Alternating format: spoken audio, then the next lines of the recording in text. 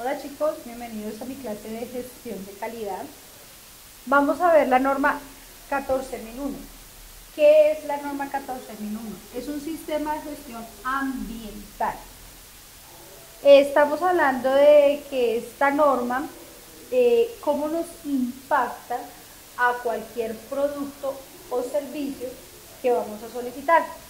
Entonces, todos los procesos tienen una entrada, el proceso del producto y la salida del producto. ¿Qué busca esta norma? Esta norma lo que busca es que desde la entrada del producto, si vamos a hacer eh, comida para perros, entonces desde que los proveedores nos traen los suministros para realizar el proceso de la comida para perros, cumplen con el mínimo impacto ambiental para traer esos requisitos, esos um, productos.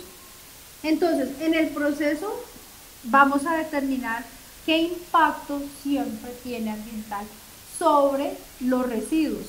Me explico, si para la comida para perros eh, utilizamos un químico, ¿dónde estamos haciendo el vertimiento de ese químico? Va a el sifón, se contrata una empresa para que le dé el correspondiente uso a ese químico. Eso es lo que busca este sistema de gestión. Los impactos ambientales que sean mínimos, pues ya que estamos en, en la contribución del medio ambiente. Entonces, cualquier proceso que nosotros vayamos a realizar, lo que se busca es el menos impacto posible. Cuando sale el producto, si estamos transportando esta comida para perros, entonces eh, que se contrata un camión para distribuir. Nosotros debemos de, desde nuestra empresa, con el sistema de gestión ambiental, validar que este camión hace su debido proceso llevándolo a donde, a donde tiene que llevarlo.